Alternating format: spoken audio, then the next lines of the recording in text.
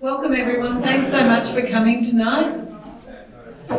Really appreciate it. Um, I just wanted to let you know that this is the only San Francisco Blockchain Week event in the Valley for the whole week. So um, yay for the Valley.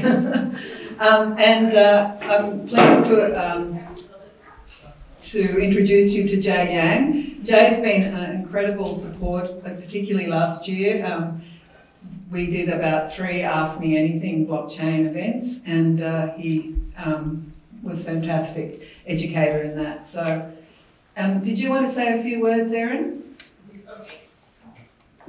Um, so Erin actually uh, organised the venue tonight, and we really appreciate everything she's done. Oh, perfect. Thank you. Hi, my name is Erin Moeller. Um, I support the Office of the CTO in TIBCO Labs. Um, and TIBCO Labs, it's a program uh, that our customers and partners can gain insight into TIBCO's innovation activities in areas um, such as blockchain, AI, ML, and IoT. I just wanted to let everyone know the end of March, we are having a blockchain and IoT hackathon here, so I hope you guys all look and uh, register and come join us. So welcome.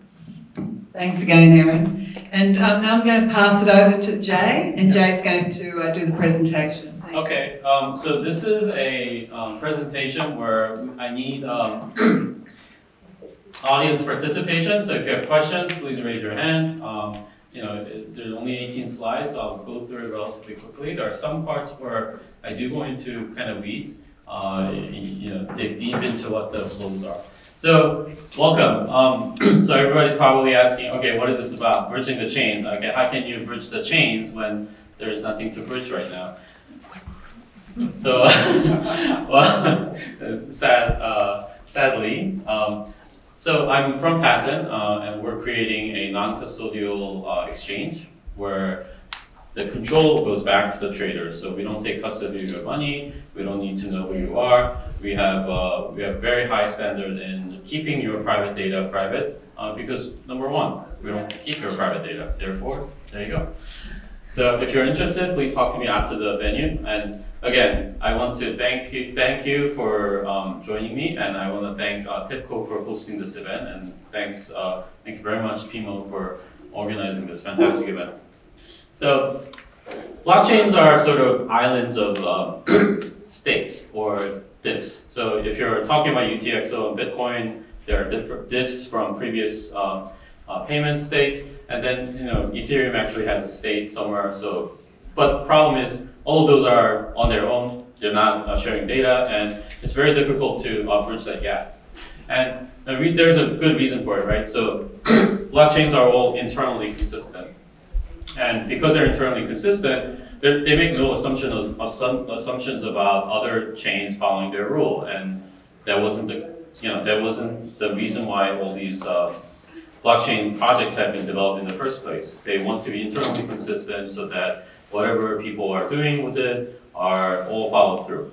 Um, and but then the problem is now, you know, once you have people starting to use it, use those blockchain applications, sometimes you want to trade, Sometimes you want to use it as a signal for doing other things. So interoperability becomes an issue. Pardon me. now, so there are some categories of cross-chain operations. So one is a swap. So let's say I want to trade, you know, I want to swap Litecoin for Bitcoin. That's a swap. Second is a layer two collateral. So uh, when, when I talk about layer two, that means the whatever is off-chain from the main uh, blockchain. So think of uh, Plasma, think of um, Lightning Network, something that doesn't do its operations on the main chain that, uh, that it has to, at some point, settle. So next thing is the contingent operation. So let's say there are um, exchanges that need to you know, price something in some you know, other, some other exchanges are pricing it in, say Bitcoin price or some uh, wrapped uh, uh, wrapped ether or something like that, then you need to have like an Oracle connection and get the data from some other exchange. So contingent operations, you know, generally required. Loosely coupled oracles. So what that means is, let's say you do want to just have a system that's entirely composed of uh, pricing in something else. So you can have, say, wrapped Bitcoin or whatever. Then in that case, you kind of have to rely on some other external source of data to tell you what the price of Bitcoin is, if you have some operations that require it. Um, and I'll cover that in a little bit when I talk about Rainbow Network. So there are some building blocks, right? I'm gonna, I'm gonna be very simple with this, and then we will build on top of it. So there are two more blockchains. There are aggregated network that handles sort of like, you know, rules and normalizes the protocol so that all the messages being shoved in from one blockchain are translated and then sent over to some other network, right? Secondly, you want to have a mechanism to, you know, have a collateral because if you're talking about working with multiple blockchains, you want the you want the moneta- monetary value in one chain to be immobilized while you're handling some other operation to be handed over to some other blockchain. Or maybe they both need to be immobilized at the same time. So if that's the case, then you need to have some mechanism that is very robust so that there's no way that your money is locked away indefinitely. So that's what, what's called hostage taking. So Finally, you need some sort of clearance mechanism to, okay, once the, once everything is settled and once everything is good to go, now execute the very last order, and then you, you know, swap or whatever, right? And there are some very specific interchain, specific problems being solved. Um, say you want to do like a, you know, uh, prediction market or something like that, that relies on some of the market state or whatever. And uh, it, if you want to do anything between multiple uh, and distinct blockchains, you may have to have validator inside a sort of aggregator network that confirms sort of these states and all that, all this, you know, things are being uh, handled properly. Of course, like even if you have just uh, your own blockchain, you still need some sort of validator and uh, you know, miners confirming the, that the, the transactions are correct, those are validators. So when we talk about aggregated network and protocol, you might not even need an aggregated network. So what am I talking about? Um, you basically, if you have an interpreter, think of it like I'm a translator, and you go to a foreign land, and we both need to talk, so you have somebody in the middle. So that's basically what an aggregator network might be. I'm using a term very loosely. So in a technical uh, language in the blockchain space, they might not use the aggregator uh, as a term, but you know, please bear with me, and if you have a better terminology, just you know, yell at me afterwards.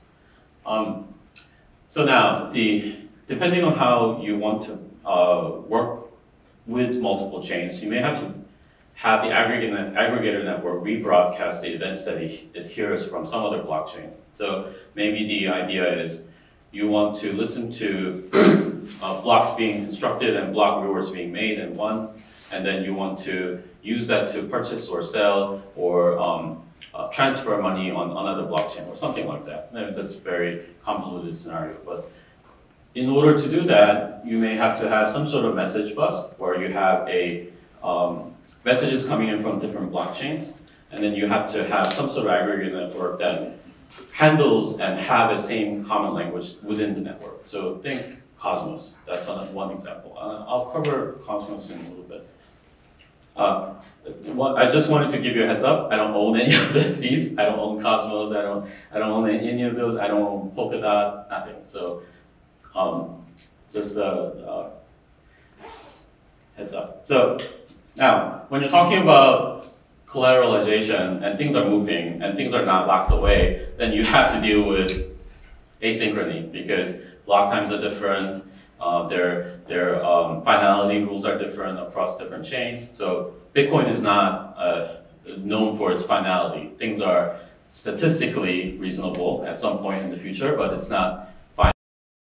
Is the block that is accepted by a majority of people, it's still, you know, there are some very small chance that it might not be valid in the future. So, so where I was going with that is if you have that sort of difference in rules, then you have possibly a different um, conditions under which things get settled, and therefore you have a race condition. So going back to collateral, so if I want to think of it like this, when you go buy a car or home, you have to you have to sit down with someone else and say, okay, I, I want to take a uh, loan for this car, or I want to take a loan for this home, and then you sit down with other people, and at some point, you have you have a very uncomfortable moment where you're sitting down with your lawyer, and you're like, okay, here's my check, and here, where's my deed? so we're title, right? Like so, there's a very uncomfortable moment where you have to kind of have a collateralized trade, and blockchain in many cases is very similar. So, at you know, when you have an aggregator network that has a different economic incentive model, you have to take that into consideration. So, and you also have to understand uh, the collateralization probably is one of the ways you can prevent um, network spam uh, for across you know, when you're working with different uh, chains. And paying for complex computation is another. So, like say, well, the preventing network spam is uh, important, but if you want to make sure that, like for example, think think Ethereum. That's a really simple case, right? You're putting up a gas, uh, which is essentially a collateral. Uh, so if you just look at it in the context confines of Ethereum, you're putting up collateral so that uh, when the program runs, uh, you know, it, it either pays for everything or it doesn't, or it goes and it does an infinite loop and you just lose lose everything, right? So there's a there's a penalty for penalty which is paid for by collateral. So that's sort of the uh, paying for complex computation. And so this one is a little bit trickier. So what this means, uh, collateralization is necessary if network has no rollback or continuous integration plan. And I think all that means is if you have some, you know, uh, unforeseen consequence of your network, or unforeseen consequence of a rule of a blockchain because you know either things are on the fly, things are continuing to be developed, or rules change, or you know something like that, or something you know some some uh, code uh, coding errors or whatever. Then, because you can't account for all of that, you might need to have a penalty mechanism, and that's what Lightning Network does. It has a collateral and penalty, and it's possible that you, as a node, might lose everything. It hasn't happened yet. It's a very robust network, but it's possible. So you make time, you make room for it. Similarly for, um, and finally, collateralization is necessary if you want it to be a network settlement layer because you need something that is neutral, that's not you and that's not them, that you know holds the money in between. Excuse me. Yeah. Quick question. Yeah, of course. Uh, so can you help me understand the network spam? What do you mean by that? Network spam. Yeah. So let's say that you want someone to be a uh, valid player in the network. Then they might ask you, okay, well, uh, I, I need you to put in like 10 Bitcoin into the network so that, you know, then you can start, you can start uh, sending out trans transactions or whatever. I don't know if that's the case right now, but that might be a rule in, the, in the aggregator network. So that's one way to have a uh, reduced uh, sock puppet, you know, uh, kind of uh, attack. Okay. Okay, perfect. Um, so what's hostage taking? So when, when you say collateral and someone has your money, someone else can also take hostage of, of your money. So that's what this is. And um, basically, it's very self-explanatory, locked away even though operation's been done. And it could be a number of reasons why that's the case. It could be race condition. It could be just someone just not testing all the edge, edge cases when they're writing smart contracts. Or just uh, you thought you were you know, executing uh, a one transaction uh, under one smart contract uh, condition, but then there was something that you didn't take into account. Like for example, someone, there was a path in the smart contract program that you didn't take into account for. So that's a very likely case. And when that happens, it might be inadvertent, it might be intended, but whatever the result is, result might be that your money is totally locked away. And it does happen fairly frequently. Uh, there are tools to discover whether that's the case too. Um, now, if it's just on single uh, chain, so when you when you collateralize something, you're creating a um, you're sending money to some like uh, uh some neutral at some contract address or something like that that has some rules that are dependent on somewhere else. So when you have that, then um, you have to understand what you're sending money to, um, and that's very important. Now the and finally, if you have any step that requires manual inter, interaction, which is sort of like what I'll cover in the uh, hash time lock contract uh, scenario, it's, it's possible that you might you might lose money. So I, I just want to talk a bit about centralization. So centralized exchange, if you really think about it, is just a bridge between multiple chains. It really is because when you go and you put in Bitcoin or whatever, and you want to trade it for Ether, they're just handling all the the they're they're just acting as intermediary, right? So they have the uh, databases that handle user account, uh, who has what, and so on and so forth. So if you really think about it, it's just that's basically what they are. But now, what that means is they also act as a single point of failure. So if you have a central authority that tells who owns what, you know, it can be hacked, it can be uh, taken over, uh, and you know, God knows, right? So jumping a little bit, yes. previous slide, Mhm. the whole reason why Bitcoin came into existence is to overcome this centralized Correct. right? Yep, So yep. What's the point of putting this centralization again? Great question. Great answer. Great question, and I have an answer for you. So whenever you have something that is an asset and someone wants to buy, you have to have a link back to the physical economy, right? So in Bitcoin's case, it has to be US dollar. So someone wants to buy Bitcoin and someone wants to sell Bitcoin, you have to have some sort of exchange. Um, unfortunately, people didn't start with a decentralized exchange. If they did, would, we would be in a very different world. Um, because they started with something like Mt. Gox or some, you know, um, OTC desk, uh, you, you know, that's essentially the reason why you need some sort of centralization. Uh, so the decentralized way might be I come to you and, and meet at the uh, you know coffee shop and I say, okay, uh, here is ten dollars. Can you send me Bitcoin? Right. So that's like peer to peer, and that's going back to the roots. Um, but because you know if you're in New York and I'm in San Francisco, it's a little bit different. So then you need a the degree of centralization that's necessary for handling money. Uh, someone needs to have an escrow of your money and then all that stuff.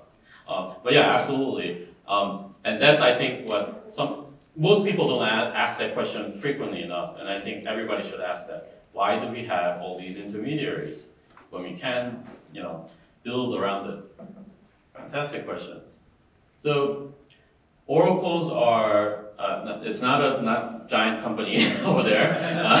Uh, uh, it's, it's very poorly chosen, and I should have uh, lowercased it. So, or- so because blockchains are these isolated pockets of information that have their own rules and their own uh, informations, what you want is, let's say I want to get a temperature in San Francisco at, for some sort of like betting market, right? Like a uh, prediction market then the consequence of a settlement for that prediction market has to rely on some source of information outside of Ethereum, um, which means that smart contract has to make a call out into the outside world.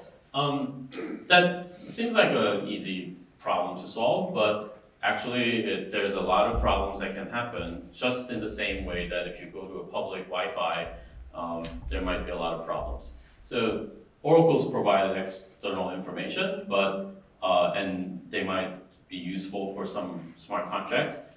And uh, there are some um, cross-chain operations that might just use the very loosely coupled oracles to kind of act as a uh, the way to bridge the gap. So, like for an example, um, instead of requiring Bitcoin immediately, you might say, okay, why don't I create a synthetic pair for Bitcoin using Ethereum, and then you know have a token inside the Ethereum network so that it represents what Bitcoin is. So like you put up money in Ether, but it's like priced in Bitcoin.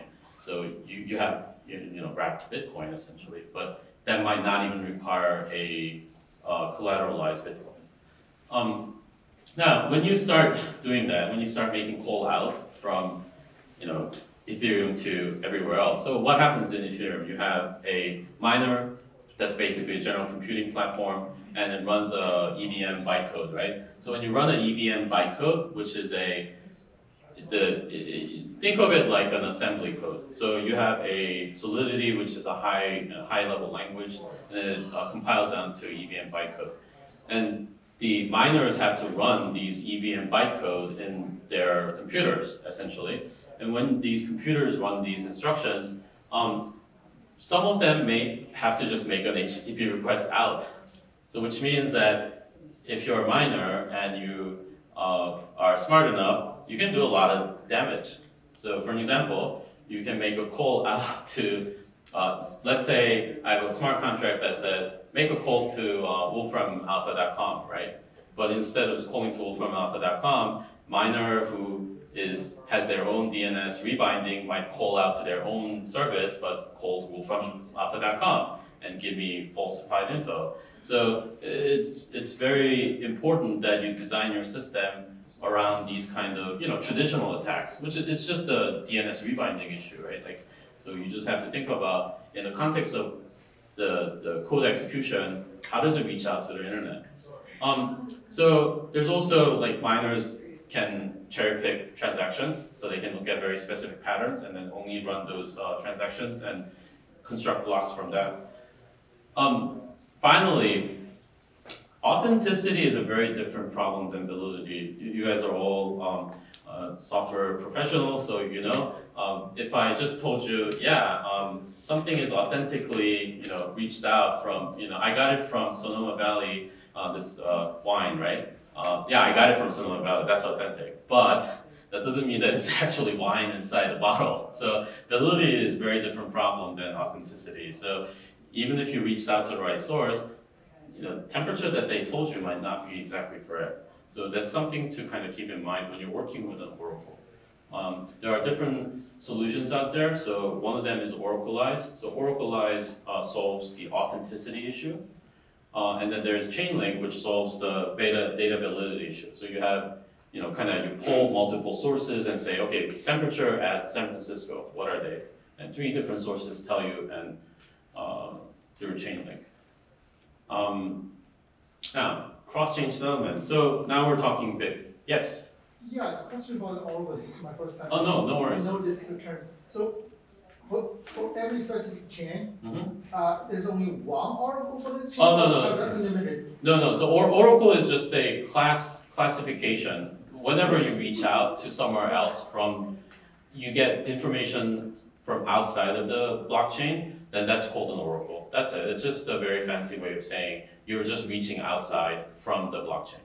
So since I'm building a blockchain, uh, Mhm. a prototype, I have a client. Yeah. This client is just uh, feed data to the chain. Uh-huh. So this client is an Oracle, right? Um, so a point of um, a clarification might be, uh, if you, if you have a, something that modifies the uh, contract from outside, because it has a write access to, that's not quite an oracle. Uh, if, if the contract reaches out to some web service or whatever, then that is an oracle. That web service is construed as oracle. So if you like say, if you have something that changes the contract itself, then that's just you having access, right permission to that contract address.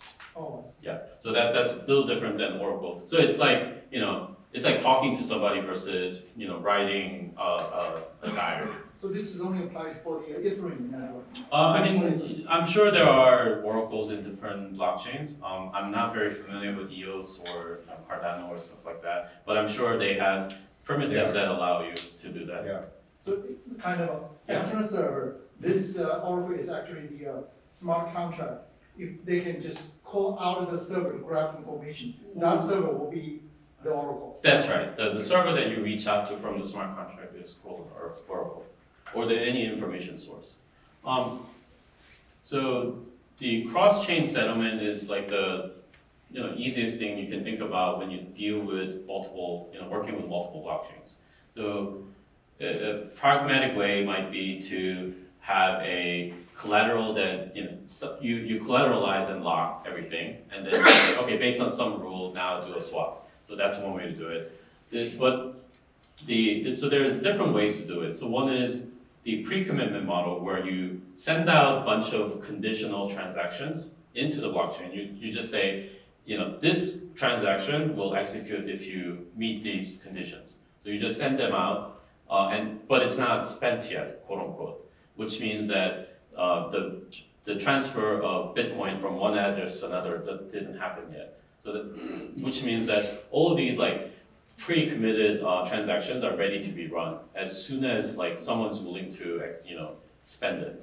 Now the escrow model is basically it's actually a lot simpler. Escrow model is a lot simpler because what you're saying is you just send money to some address and then there's some program running on it and then it goes spits it back out to you. It's not clear to me on the collateral, Uh-huh. How the collateral is accept- mutually accepted by the two different blockchain operating with two different set of rules, to two different entities, two Right. different currencies. Right, right, two right. Different of everything. Right. How do they agree on the collateral? So that's perfect. So now, um, and I'll go to that more in detail when I talk about hash time lock contracts, but that is the summary of all the, the entire talk, right? Hold on, I'll wait. Yeah, oh, no, no. So, so the long, long, long story short, basically if the, uh, two different blockchains share similar, you know, similar primitives or similar opcode or similar, uh, hashing algorithm, then it is possible to have a, um, you know, atomic swap based on uh, collateralization. Um, but it's, uh, it's not always the case. For example, Ethereum and, you know, Bitcoin has vastly different models. Um, now, Also, are you saying that this problem cannot be solved for uh, universally across different blockchains, but only in a subset? Correct. Okay, got it. Correct, and therefore you need a um, sort of a, uh, engineering solution might be to have a interoperability chain in the middle Uh-huh. or have centralized service or something like that. Um, but there is a way to do it if the chains exhibit similar characteristics. So multi-party settlement is very complicated. um, I, I, I, I'll I'll be happy to talk to you about it. I, sometimes I, I get confused on that as well. Uh, the immediate, intermediate chain could be used, like we discussed. And so we're gonna talk about hash time lock contract. And I don't know whether this, uh, this, uh, uh, dash should be there, but anyways. Um, so hash time lock contract, what, what is it? Uh, so it's, it's a combination of time lock and hash lock. And so hash lock is something that unlocks if you have a, um, you know, if you, if you know the secret to which the hash, uh, gets generated.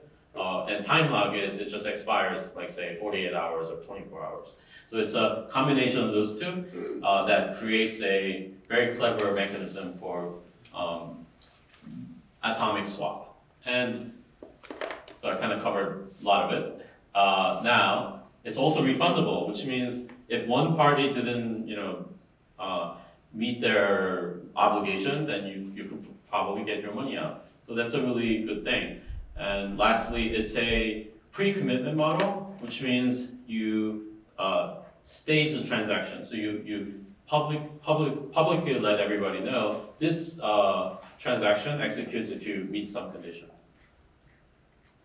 And uh, I, I don't expect you to read all this and understand, so I'm gonna just, this is even worse, right? So I'm gonna I'm gonna go through really quickly. Um, so think of it like this. Think of it like say Alice and Bob wants to trade, and Alice has Bitcoin and Bob has Litecoin. So they're very similar um, similar blockchains, and they use same a similar hashing algorithm, and therefore you can do one of the following. So Alice says, okay, look, I'm gonna create a transaction that you Bob can use to get money out, and that's uh, transaction uh, one.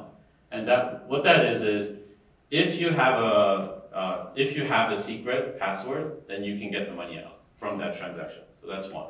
Secondly, Bob says the same thing except on Litecoin side. Basically says, okay, if uh, if you have the if you Alice has a secret, then you can get my money out. So you'll say like, what? You're you're just giving her the money because she she has she's the only one with the secret. Well, I'll get to that. Um, it's an interesting model.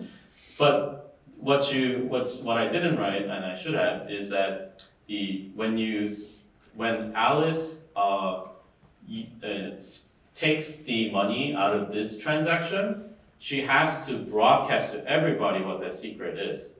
So so which means that okay, here's a secret that you know you Bob can use to execute this transaction now. So which means that there's no requirement for Alice to tell Bob directly, and there, you know, therefore it's it's automatic. So uh, it's not automatic, but it's a it's a um, it doesn't require, it- there is no hostage taking. Alice can't just like withhold secret uh, in order to prevent Bob from taking money out. But she didn't reprogram the secret, uh, assuming she's fast enough. That's right, and that's why you pre-commit the uh, transactions. So therefore, the, the hash. Uh, Which is soft committed, that's what pre-commit or? Um, so when you, what you do is you broadcast a transaction that has all these parameters already built into it at the same time. And what that means is, um, she has to, she can change the secret after broadcasting these transactions, um, because it's now written into the blockchain. So now the, the, these, um, uh, P2SH, uh, or the contract addresses have this parameters already built in, um, Bob can spend it once he has a secret. So I'll actually, I'll cover this really quickly. I'm sorry this is not very um, intuitive. Um, so what does this all mean? So I'll start with from the very beginning, and I may have to take 10 minutes to do this. So Alice creates a secret. So it might be a random number or something like that. Uh, so it's, it's, uh, it's just a bunch of numbers. And after that, Alice creates a two transactions. One is to uh, allow Bob to take money out uh, from network X. Second is to um, send it back to send it back to Alice. So this is an expiration. So let's say that you know they weren't able to agree to a term, then you know 48 hours later it goes back to back to her. Uh, Bob does the same thing, creates a transaction. Oh shit. Shoot. Um, transaction three, which uh, is for Alice to take money out, say this is Litecoin. And then transaction four, which um, if it expires, Bob gets his money back. Now, the important part really is once you submitted these transactions to the networks, they're already there. So Alice and Bob cannot change the terms of this atomic swap. So that's already baked into the system. And after that, uh, what happens is now uh, three, four, and then five, the, uh, now I'm having trouble. All right, so Bob signs the transaction two, and then send it to Alice and says, okay, now you can start, start the process of executing these transactions. Because Alice already sent out a TX2 saying, you know, you can use this to start the swap. So Bob signs it, sends it back to Alice, and then Alice then says, okay, now I can use the result of uh, uh, TX2 to get the money out from the network Y, which is this. So using her own key, she can now spend that money. So after that, Bob, because Bob will see the secret that's in the network Y, because it's part of a transaction uh, script. So if you're talking about Bitcoin script, it's all plain text. So the secret is already plain, plainly written into the into the transaction. So Bob can read the secret and then using that uh, get the money out of network X, which in our case would be Bitcoin. So now they did uh, cross-chain swap. And if you're having trouble understanding this because it's first time, same. Uh, for me, it took me a very long time to go through this. Yes. Um, why are transaction one and three not time uh, expired? Oh, uh, yes, they are. Uh, so in fact, uh, so so the transaction one is pay coin X to Bob's public address if Bob knows the release secret, and then transaction two is paying coin X from transaction one back to Alice's public address, and it expires in 48 hours. Um, and then the same on the other side, except Bob's expiration is 40, 24 and not 48 hours. Um, so yes, I'm sorry, maybe, maybe you. Yeah. You be done with it? yes. So what you depicted in this diagram Uh-huh. is, is sort of the kind of peer-to-peer decentralized model of a, of an exchange, is that correct? Correct, yeah. Is that correct? That's absolutely right. This is atomic swap as described by Tier Nolan, which is an online persona, and Mike Hearn. Um, Mike Hearn is a very um, well-respected figure in the cryptocurrency world, and Tier Nolan, uh, if you go to Bitcoin um, forum, uh, kind of described this process of atomic swap between the similar similarly uh, ruled uh, blockchains. So yes, this is, but yeah, absolutely. But but the problem with this is that all this requires in, intervention, right? You need to you need to listen to the network activity on Y and then transmit the transaction correctly on X. It's very confusing. I'd be happy to kind of go through the flow uh, after the fact, uh, after the session, and uh, kind of walk you through it, walk you through it one by one by one. Um, I'm so sorry that I can't make this any easier. Um, but the but the basic idea behind it is that you pre-commit the transactions that you can back out of. So the rules are already there, and so one so one condition has a timeout so that you get your money back if no one executes it. And the second condition is you once you once one party spends the transaction using the secret, then the other party knows the secret just by virtue of that secret being released into the wild. So that's the that's the basic concept of it. The the coordination part is very important too. So like say Alice wants to, you know, spend at the 23rd hour and 59 minutes, that's actually against her own uh, better judgment because if she does that, then she, she could actually lose out on the whole deal. so she might be out of the coin. So it's just uh, it's a very elegant way to do it, but it also requires a very focused mindset to kind of come up with something like this. And there are different ways to do atomic swaps as well. Uh, and again, if, you, if everything is internal to the same chain, then escrow model is just fine because then you can just write a smart contract rule that does it. So now Blockstream, which is a big name in Bitcoin world, uh, came up uh, with a concept called sidechain. So what, what it is is a federated um, federated chain that has a similar rule set as the main chain. So like say Liquid Network, which is a block, uh, Blockstream's own uh, sidechain, has a very similar rule set as a Bitcoin main chain, but it also has extra, you know, operations and uh, things of that nature. Now, wh- what's the benefit of that? Benefit to that is then the participants in the network gets to determine how quickly things get resolved. So if you're a part of this federated network, then you know what? Maybe you're an exchange. Maybe you have a lot of uh, money at stake and you want to use a side chain to send money faster or something to that effect. So it does come in handy. Now, what that means is you still have to have a collateral. Um, and it's, if you don't understand the mechanism of the side chain very well, then you might not want to participate in it. So make sure that if you are, then just read up on the rules. Or if you're building anything, read up on the rules for the side chain that you're participating in. Um, now the, so depending on how compatible the side chain is to the main chain, you might be able to also do merge mining. So if you do merge mining, then you're, you're getting money from two, two different chains. So that might be profitable for you as a miner, but if you are also worried about bootstrapping the security guarantee on the side chain, then yeah, uh, making it compatible so that the miners would participate in your side chain mining uh, that immediately increases your hashing power, right? Which means that you're getting all those for free. Uh, well, not free, but you get the idea. Um, so you can bootstrap your hash power very quickly by making it, you know, uh, amenable for that. So there's a bunch of different examples. Liquid is one. Uh, Rootstock is another.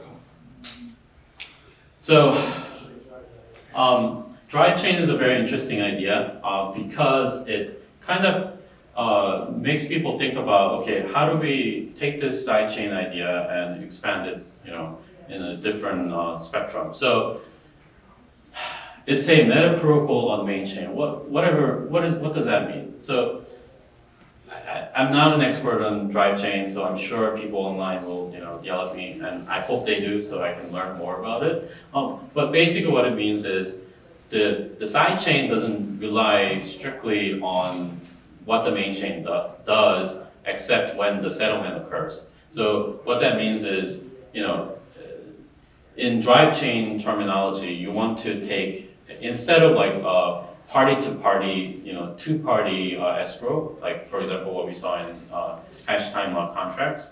Drive chain has a escrow that is designated for the entire side chain participant. So what that means is it opens up a possibility for uh, settlement that is kind of uh, crossing the boundary. So let me give you an example. So in the HTLC, you can only trade with people you already know because you have to create that bi-directional relationship.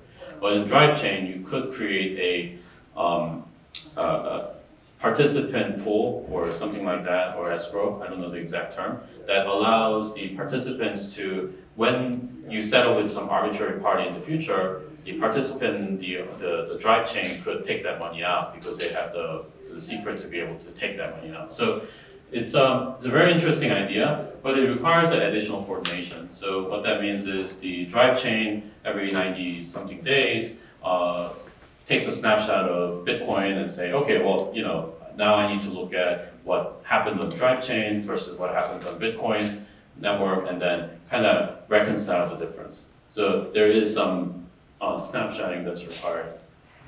Now, which means that you might also need the soft fork and miners might need to participate. But, you know, if, the, if there's a lot of value, you know, value that it brings, maybe that's worthwhile looking into. I don't know. So Rainbow Network is something that Dan Robinson came up with.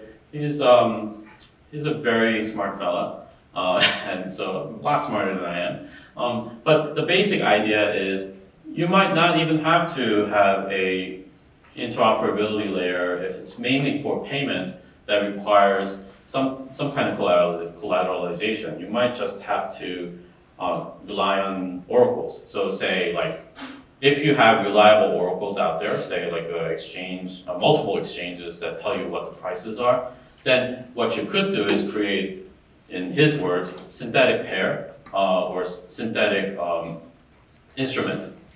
So what that means is you create a uh, tokenized form of Bitcoin inside Ether, Ethereum network that is uh, uh, that is collateralized by the price, or you have to collateralize it to meet the price obligation. So like you can put in Ether to this, uh, you know, some sort of contract that is priced in Bitcoin. That way, you know, if the price of Bitcoin goes up against Ether, then you have to put in more Ether to make sure that your obligations are met, or something to that effect. Um, so, which means you have, you know, the you have loose coupling, and when you have loose coupling, then that allows you to kind of um, uh, run things without having direct uh, interface between the uh, different blockchains. So synthetic pairs are, pairs are interesting, but it, again, the, the fault of that is it relies on relies heavily on oracles, um, which means that you know you might not be able to do certain things that you want, and also if you want to do have a like price setting behavior, relying on oracles to have a synthetic instrument pricing is not really going back to the demand and supply side of things, right? So if you're trading in, you know, exchanges, then there's actually demand and supply that settles the spot requirement, but if you have a synthetic um, obligation, then it's relying on the price only and not the actual demand and supply. So, which is, eh, I don't know. I'm not an economist, so I can't really tell you how uh, important that is but I think it's kind of important.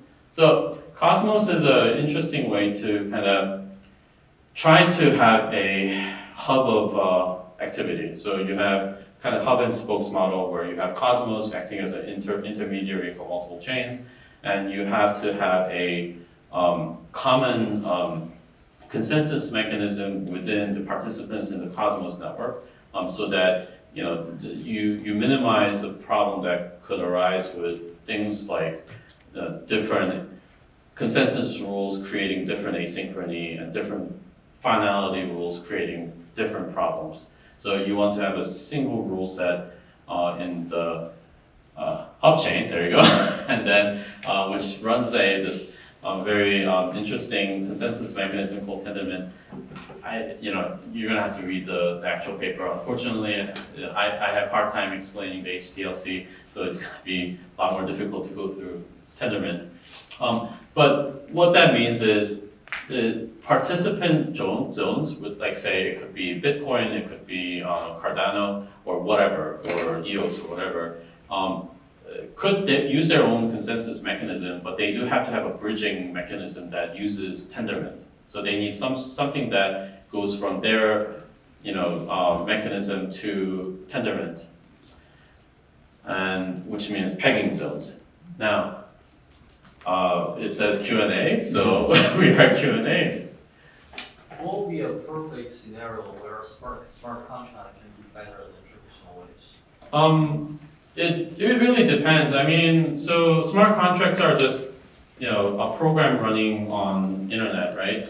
So, which means that traditional ways of, of, of transacting could be anything like, if you're talking about payment network, you know, it's a proprietary protocol in some, you know, Visa or something like that.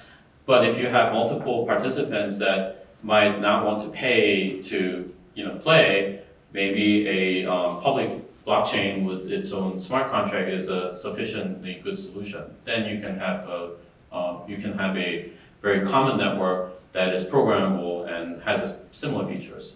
There's just to it, to this, like in financial services world, the, the, the area of trade finance, where, um, at least six, six parties are involved.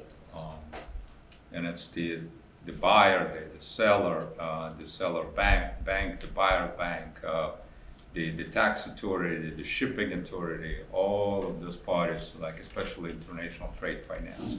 Letter of credits come from one bank to another bank. It's a very complex process, mostly manual.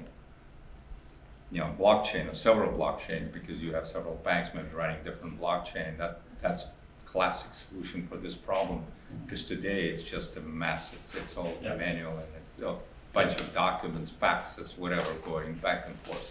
So this this is a low hanging fruit. Right. Are people doing, are, are- people using? People doing, yeah.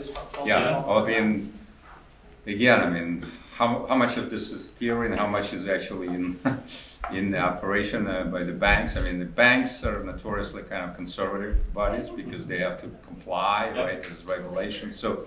But a lot of banks have experimenting with, uh, have been experimenting with blockchain and then the bridging of different blockchains, because of course, you know, bank in country A and the bank in country B will not run the same blockchain. Right, right. So, I mean, so the, the, going back to your answer now, you know, smart contract is native to one blockchain. So which means that if it solves in one blockchain, then that might be sufficient.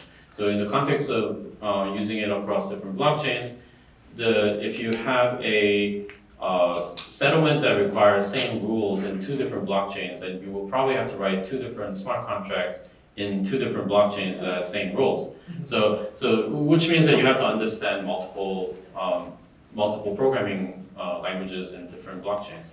Uh, for, for an example, RSK, uh, Rootstock, actually tries to make it easy by using Solidity, which is the same language that, uh, Ethereum uses. Uh, but more fundamentally, going into your question, yeah, smart contracts is a great way if you need a neutral ground um, to use blockchain as a, a place for settling, a place for recording data. Um, and one example might be real estate uh, or titles for cars or something like that. So imagine Carfax, you know, just dumping all that data into uh, you know Ethereum or something. I don't know. Uh, that's not my business. So I, I really don't know. Uh, hope that helps. Uh, any other questions? Yes. So on the same example of six parties involved in Yep. a transaction Uh-huh. and banks being conservative because of regulations, Mhm. how much of regulations have caught up to blockchain and Oh, cryptocurrencies? oh boy. Um, so far? So, That's a good uh, question. um, that's a, so you're, you're, you're two for two on excellent questions. Um, now, I think that the regulators in general, so there is a blockchain caucus in Washington DC.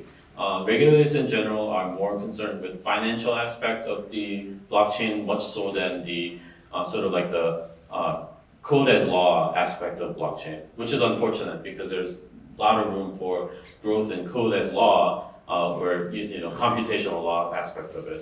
So there there's a, there isn't a lot of focus in that, unfortunately.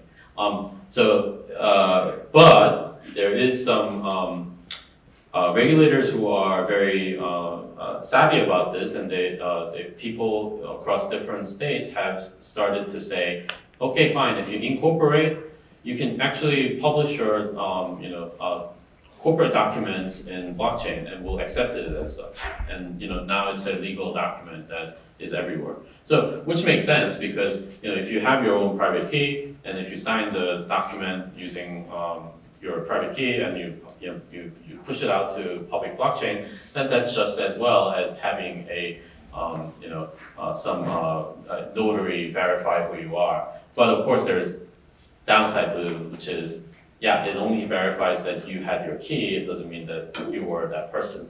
So there's a lot of uh, linkage to real world that still hasn't quite caught up. And uh, I can foresee that being a big business in the future. So the identity part is big, uh, reputation part is another part, and the, the computational law part is the third part. Um, so like in the in the cryptocurrency world and blockchain world, uh, law is law law is uh, sorry code is law has a very different context than say code is law in you know rest of the world. So in in the blockchain world, you you want to be overly uh, restrictive so that there is no other ways to game the system. So when someone says code is law, it's literally law. There's nothing else you can do. But in real law, that's not the case. The law is very interpretive, and it's based on sort of thousands of years of jurisprudence, which is, you know, very difficult. Yeah. I have to ask you this question. Sure. Facebook, uh, Libra. Uh-huh. Um, If you sort of, if you, your company, you guys experimented with uh, Oh, chaining uh, Libra to, let's say, Ethereum, and I know it's, it's very different paradigm there, Yeah. different language, different. But Sure. the- some of the concepts are similar, so Yeah. have you experimented with Libra? Um, so Libra is very interesting because technically it's it's uh, very well done. Um, so the interfacing with it and tooling around it is very awkward, but if you go through the technical white paper, it's generally pretty solid. Um, the problem, of course, is well, and even before we're talking about problems, Libra has a very different model of finality, meaning that it doesn't collect, to best of my knowledge, doesn't collect transactions in a block and then tries to solve for it. It's basically every transaction that goes out the door uh, gets verified by verifiers, the, you know, the, the industry partners. So which means there's a transaction level finality, uh, which means that, yeah, you know, there's no rollback. I mean, or you can have a rollback because of finality. Um, so it, it is pretty solid tech, uh, although mm, politics uh, being what they are, I, I, I doubt that they are who knows? I don't know. I, I don't know anything Have you about that. cross, uh, cross-chain uh, Libra to, let's say, Ethereum, tried that? or Oh, To jeez. anything? Um, I uh, unfortunately have not had the, the, the had too much time to play with it. I've only looked at it from one angle, but not interacting with uh, I see. cross-chain aspect of it. Yes. A follow-up on this Libra topic. Mhm. So I I actually heard the, the Congress hearing about uh, Libra Uh-huh. a few days ago. And it, my, the sense I'm getting is that the, the regulators don't want any, anything to undermine dollar, I- the fiat currency. Yeah, I, I mean, So as whether it be Libra or any cryptocurrency, Sure. they just don't, they just don't want anything to. Well, I- yeah, I mean, I, well, as, as a, as a founder of a startup, I would hope that congressmen and congresswomen look into this, um, blockchain industry with a sober eye and, you know, hear what the entrepreneurs have to say. Um, and not get too hung up on sort of whether it's a challenge to the sovereignty of the country or not. Um, in, in Libra's case, it's very difficult because Facebook is so big. But if I'm just creating smart contracts that, you know, has a, you know, a programmable flower uh, that exists on Ethereum, I, I sure hope that I don't get penalized by US Congress. Um, you know, it, it has to do with the, the scope of things, I think. If the, if the impact is small, then maybe, you know, regulators should be more lenient. But, but I, I, again, I have no position on this. Right, if if you, if you use blockchain for smart contract, then they, they're okay with it. But my point is that Yeah. any currency that can challenge dollar will eventually be facing the regulatory resistance. Oh, sure, If they, if they have. the sure, sure, okay. sure. I mean, but, but going back Why to, oh, no, no, it's, it's absolutely necessary to try and because of the following reason. So if you go back to before there was a central bank, you had regional private banks issuing notes. And the reason why the, pro- you know, there was a centralization is, you know, there were, uh, there, there there was a, um, a lot of people were afraid that there would be, um, it's like, it's like using common metric system, right, across the board, meaning that if you have dollars issued by one bank, it might not be, uh, redeemable in the next day. But I don't know if that's true, I'm not an economist, uh, maybe the private banking is better than, you know, a central banking, who knows? I really am not the, the suited for this, I only know how to program things, so. I'm sorry, I'm not giving you a very satisfactory answer. I was just gonna add to that, right, I mean, the reason big governments, are- governments are interested in this, you know, is because they're looking at taxation, right, that's a big source of revenue. Right. Right, and they can control that through Yeah. fiat currencies very Oh, easily. I, I, do have something to say for that, and, and it has to do with, um, there's a, there's a county in New York called Berkshire, not to be confused with Berkshire Hathaway, that issued their own, um, local currency called uh, BerkShares. And it's, uh, one-to-one redeemable to US dollar, and in fact, there's nothing in US, uh, rules or laws that prevent you from having a local currency, as long as it's taxable. So make it taxable, make it illegal, and you're, you're golden. Um, so, thank you so much for opportunity to talk to you, and, you know, just, uh, please let me know.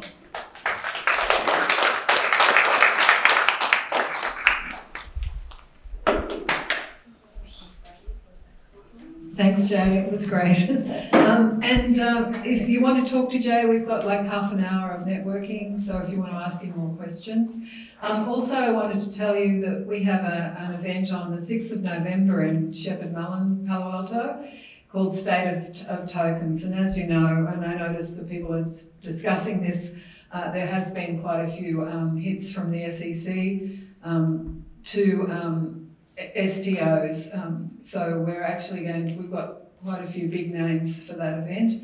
If you want to come along to that, um, you'll find it on our website or um, you'll receive a newsletter with the links to this video and uh, there'll be a link to that. Thank you very much for coming.